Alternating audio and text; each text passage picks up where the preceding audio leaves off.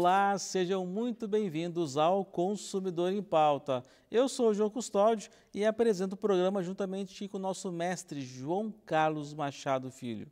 Você que nos assiste já sabe, o programa é de utilidade pública, com muitos esclarecimentos na área do direito: direito do consumidor, direito do trabalho, direito imobiliário, direito de família, direito previdenciário e direito comercial, questões relacionadas aí como abrir uma empresa, questões tributárias como imposto de renda. Então, mande a sua pergunta para nós. Não fique com dúvidas por nosso e-mail consumidorempauta.tve.com.br ou também já aproveita, salva no seu celular o nosso WhatsApp DDD 051 985 946 773. E hoje vamos falar aqui sobre direito comercial né, tirando dúvidas sobre imposto de renda, empreendedorismo. E quem está conosco aqui hoje é o contador, mestre em economia, um dos fundadores do Grupo Fortos, Evaneira Aguiar. Seja muito bem-vindo. Muito obrigado, João. Então já vamos para a nossa primeira pergunta aqui, que é da nossa telespectadora Andressa, aqui de Porto Alegre. E ela faz uma pergunta que muita gente tem dúvida também. O que é a malha fina, Ivanir? Muito bem, boa pergunta, Andressa. Muito obrigado pela, pelo envio das perguntas. Todos que tiverem dúvidas, por favor, façam, que a gente vai responder da melhor forma possível. Nós estamos numa época que muitas pessoas estão caindo em malha fina. Mas o que, que significa isso? A malha fiscal nada mais é do que uma retenção da sua declaração após a entrega pela Receita Federal diante de alguma inconsistência, alguma algum erro, alguma, algum cruzamento de dados que a Receita Federal fez dos dados da sua declaração entregue com os dados de outras fontes também obrigadas a fazer a entrega de declarações ao governo. Cito aqui instituições bancárias, clínicas, médicas, empresas, ou seja, essas outras instituições também são obrigadas a fazer entrega de declarações ao fisco. E há um cruzamento de dados em que a Receita Federal faz, então, usando critérios, a retenção da declaração do contribuinte e isso faz com que a declaração fique pendente de regularização. Ocorre também algumas vezes uh, um chamamento para prestar esclarecimentos não necessariamente por erro, mas sim porque a Receita Federal utiliza critérios para pedir esclarecimento aos contribuintes, como, por exemplo, despesas médicas altas, elevadas em relação à sua renda. Não que o contribuinte esteja errado, mas que a Receita Federal quer que apresentemos provas daquelas despesas. Então, o contribuinte tem que ficar atento para fazer essas correções. Tem algum motivo assim que é mais frequente que o pessoal cai em malha fina? Temos, temos diversos motivos que na verdade não tem um ou outro. Aquele que a gente diz que é o campeão é a inconsistência entre a variação patrimonial, o que, que é isso? As compras de bens, o aumento do patrimônio do contribuinte ou redução das suas dívidas, inconsistente com a sua renda. A pessoa teve uma renda de 50 e um uma variação no patrimônio de 100. O que, que justificou? A Receita Federal poderá chamar, mas temos diversos outros itens, João, que estão aí inseridos nesse critério. Bom, muito bem. Bom, então vamos para a nossa próxima pergunta sobre é, é a telespectadora Joyce da cidade de Gravataí. Como saber se eu caí na malha fina, Ivanir? Muito bem, Joyce, obrigado pela pergunta. Uma primeira situação seria o contribuinte que não tem ainda o seu cadastro lá no ECAC, que é o portal virtual da Receita Federal, onde ele tem uma caixa postal que a Receita envia as notificações. Então, o contribuinte que não tem ainda esse cadastro, ele vai receber uma cartinha na sua casa, na sua residência, informando que tem uma inconsistência e deverá então apresentar documentação. Já o contribuinte que tem esse domicílio tributário eletrônico, que significa a pessoa que se cadastrou para receber informações lá na sua caixa postal. Neste caso, todas as notificações da Receita Federal vão para essa caixa postal. E também a pessoa que é atenta ao acompanhamento do processamento da sua declaração lá no ECAC da Receita Federal tem um serviço chamado Meu Imposto de Renda. Ao entrar nesse serviço Meu Imposto de Renda lá no ECAC, a pessoa poderá ver o status da sua declaração, se ela está processada, se ela está em fila de restituição ou se ela está com pendência. Estando com pendência, a pessoa poderá então fazer a verificação através de um serviço lá mesmo no meu imposto de renda, qual é o motivo desta inconsistência e terá toda a orientação para fazer então a correção ou envio das informações para a Receita Federal. Em Vanelli, o pessoal quando recebe essa cartinha, vai lá no escritório lá, o pessoal chega muito preocupado, muito nervoso quando chega uma cartinha da Receita Federal. É, é, é uma situação bem delicada, as pessoas realmente chegam é, apavoradas, essa é a palavra. Por quê?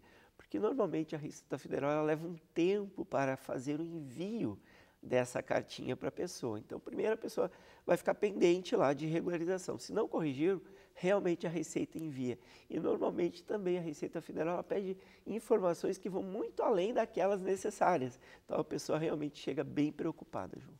Bom, a Zeli aqui da cidade de Alvorada pergunta: o que acontece quando há um erro na declaração? Bem, um erro na declaração. Ah, se o próprio contribuinte ah, se deu conta deste erro, ele poderá fazer a correção. Basta fazer uma retificação, uma correção da sua declaração e fazer o reenvio. Quando há uma inconsistência e a pessoa não, não percebeu, ele vai cair em malha fina. Estando em malha fina ou pendente de regularização, a pessoa então ela poderá, se não for notificada pela Receita Federal, ela mesma fazer a retificação e corrigir este erro. Caso tenha recebido já uma notificação da Receita Federal, há necessidade de apresentar a documentação e essa correção poderá e será feita pela Receita Federal. Muito bem. Você tem que ir lá na. Pode. Como é que faça. Se tem uma, chegou a cartinha para fazer essa defesa, tem que ir pessoalmente na Receita Federal daí? Não, nós é, é, já há algum tempo temos um serviço também lá no portal é, virtual da Receita Federal, o ECAC, em que a pessoa tem que ter o acesso através da sua conta do gov.br, um nível de segurança prata ou ouro. Com isso, a pessoa vai abrir um dossiê digital, é chamado um processo via dossiê digital, em que a pessoa vai escolher o serviço, que é a apresentação de documentação de malha fina, e vai ah, ah, incluir tudo virtual, essas informações, esses documentos comprobatórios, para que a Receita Federal faça a análise. Então, hoje nós temos um serviço chamado um dossiê digital, um processo digital em que o contribuinte faz a inclusão uh, uh, virtual de toda a documentação para envio à Receita Federal.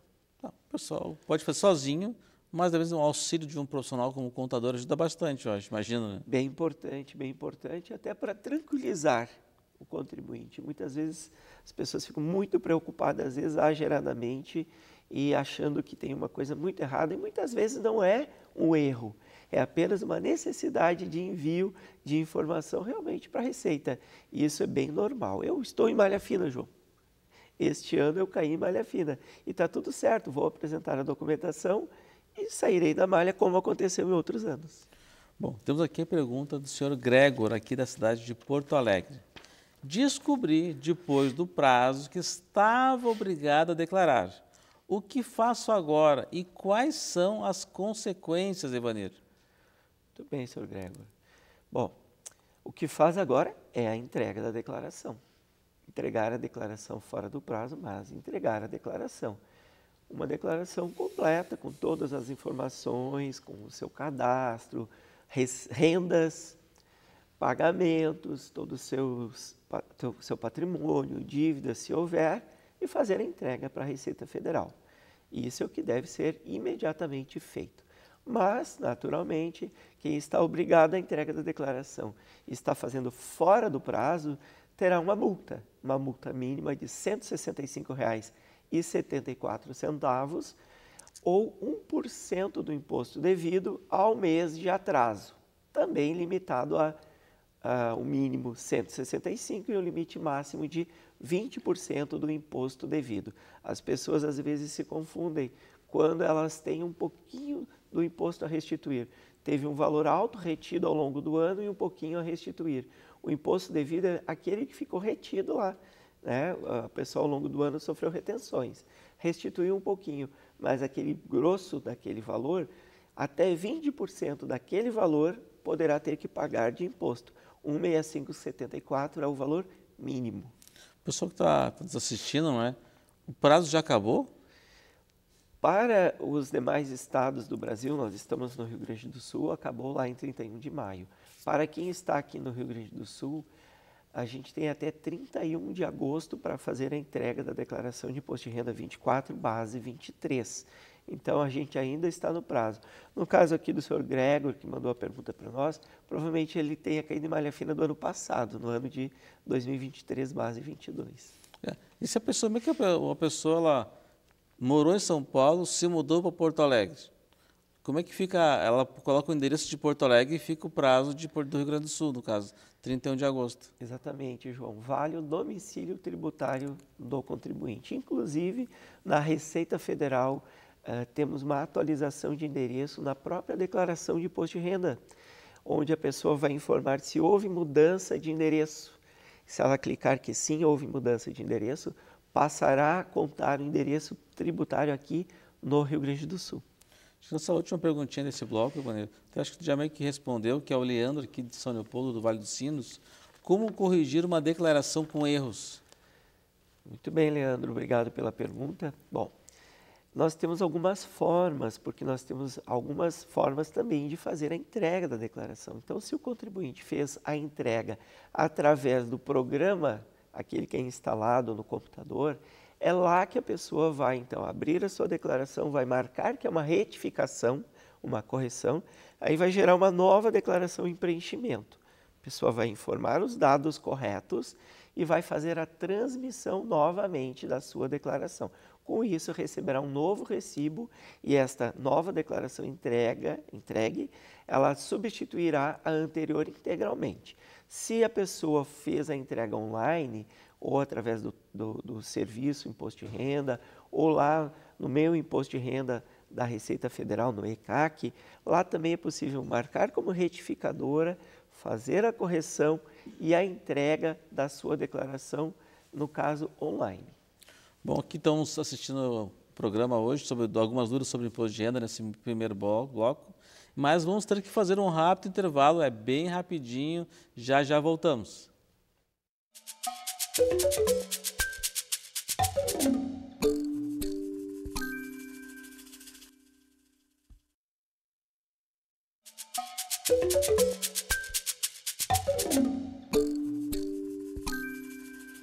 Falamos que era rapidinho, já estamos de volta. Lembrando você que nos assiste, o programa é de utilidade pública. Então, se você tem dúvidas sobre as diversas áreas do direito, não fique com elas, mande para nós.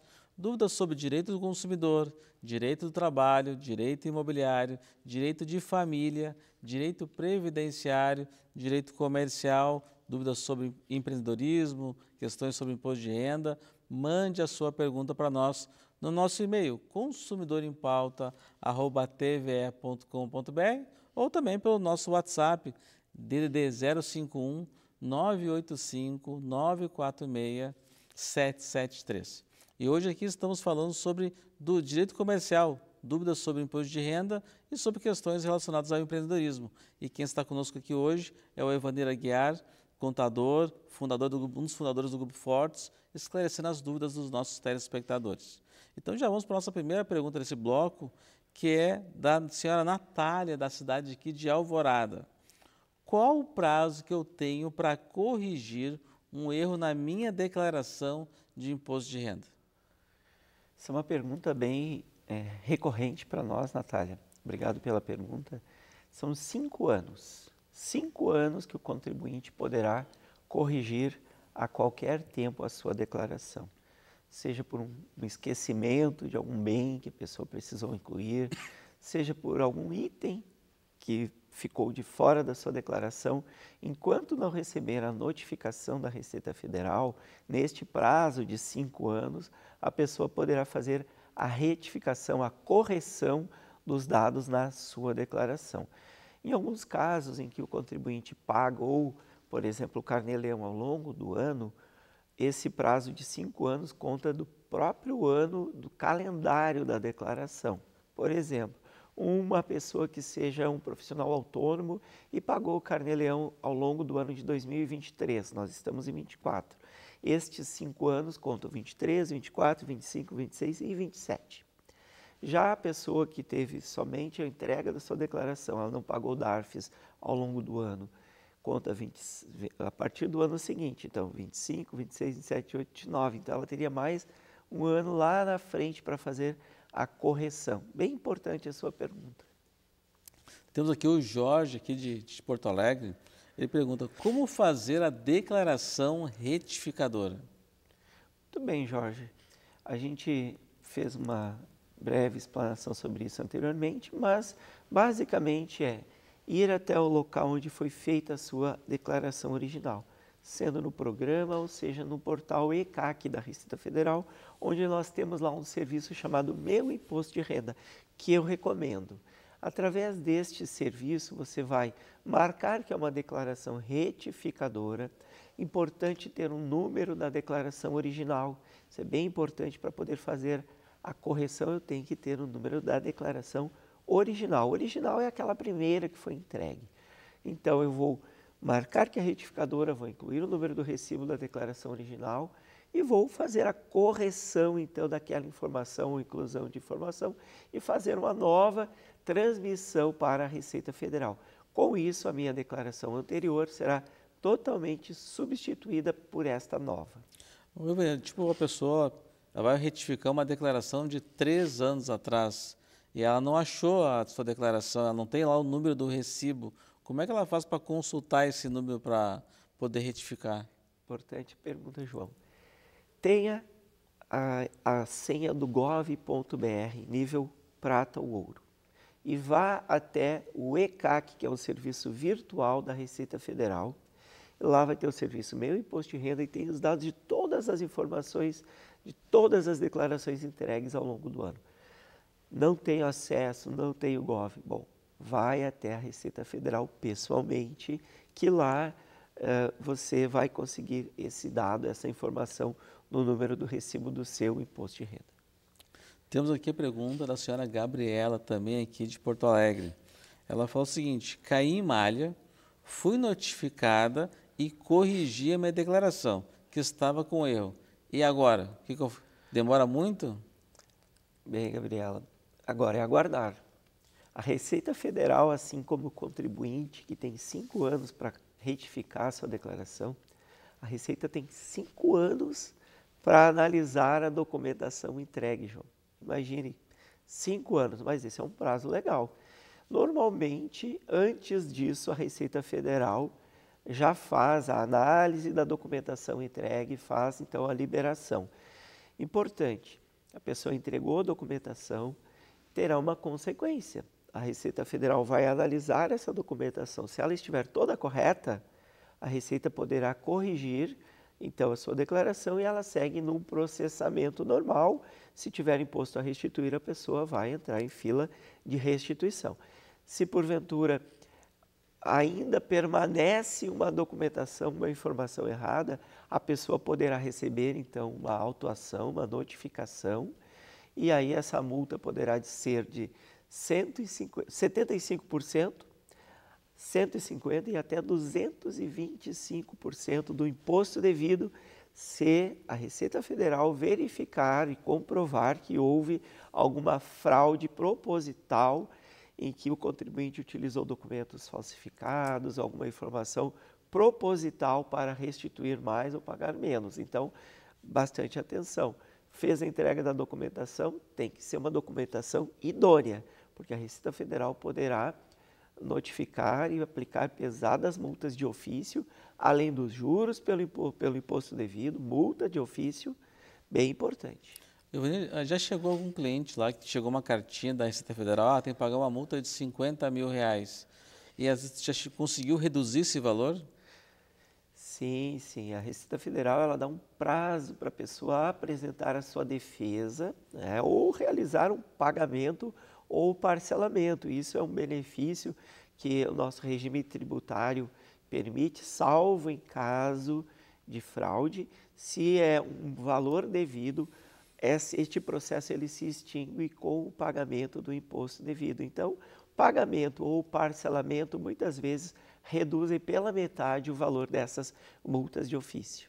Mas também a pessoa pode ter documentos ali criticar aquele valor, né? Sim, sim, sim. A pessoa ela recebe também um novo prazo para argumentos para contestação administrativa no primeiro momento e até mesmo judicialmente no momento seguinte. Então a pessoa ela terá todos os prazos legais, se ela estiver correta com a sua documentação, com a sua argumentação, então a pessoa poderá também argumentar, uma, fazer uma nova contestação daquela autuação. Uma pessoa, uma pessoa me procurou, me questionou que ela teve o CPF bloqueado e um dos motivos talvez ela ache que foi a não entrega do imposto de renda. Isso pode ser é verdade? Sim, é verdade. A primeira consequência é quando a pessoa é obrigada a fazer a entrega da declaração e não entrega e não entrega a sua declaração é o seu CPF fica pendente de regularização e poderá inclusive ser, se isso acontecer por longos anos, ser é, baixado esse CPF, ele ficar inativo. Então, bem importante a pessoa fazer a regularização.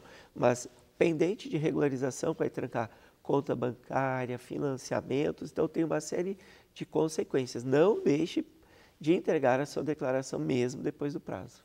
Bom, temos aqui a pergunta agora do Gabriel, da cidade de Portão.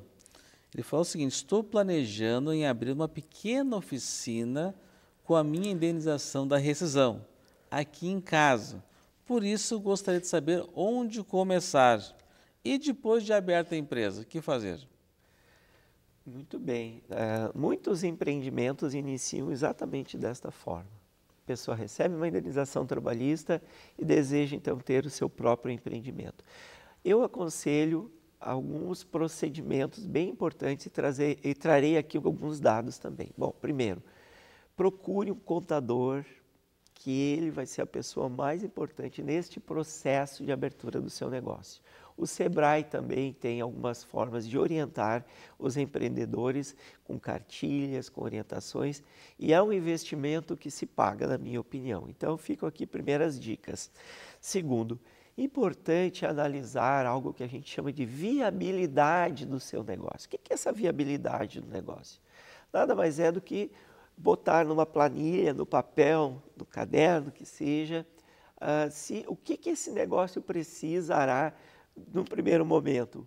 Custo de abertura, capital de giro, quais serão as despesas fixas, o que, que eu almejo ou espero como volume de venda ou serviço, no caso aqui de uma oficina, os, quais os custos que eu, que eu terei, custos de uh, materiais, custos de pessoal, vou trabalhar sozinho, aí eu preciso saber em relação à abertura. Eu vou abrir uma empresa individual ou terei um sócio? Importante, às vezes ter um sócio é importante para um ficar com uma atividade, outro com outra, para ter um maior capital inicial investido no seu negócio, definir a localização, no seu caso já está definido que é na sua residência, mas importante cuidar a questão de alvará, o plano de prevenção e combate ao incêndio. Muitas vezes, em algumas atividades, como é o caso de oficina, que trabalhará ali com óleos, enfim, combustíveis, é necessário cuidar do PPCI, Tipo tributário, vai ser uma MEI, vai ser uma empresa do Simples, uma empresa do lucro presumido, tudo isso o contador poderá lhe ajudar. Depois, na manutenção, o que é manutenção? O dia a dia da empresa, cuidar, tem que ter o contador, os tributos, empregados, tudo isso tem que ser cuidado. Cuidar as estratégias de marketing, é? O produto, no seu caso aqui, é um serviço de oficina, mas vai incluir produtos para venda também? os preços, quais serão os preços praticados? Terá alguma promoção de divulgação do seu negócio? Ponto já está definido, mas também poderá fazer alguma venda online, por exemplo, pessoas que estarão envolvidas no seu negócio e acompanhar os números.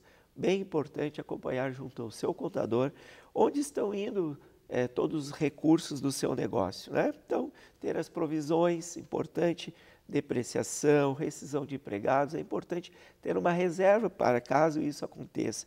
Questão de fornecedores, impostos, estar sempre analisando e a contabilidade permitirá você corrigir os rumos do seu negócio. Bom, Ivaneiro, queria te agradecer pela tua participação, pelos teus excelentes esclarecimentos e agradecer a nossa qualificada audiência. Muito obrigado. Até amanhã. Tchau, tchau.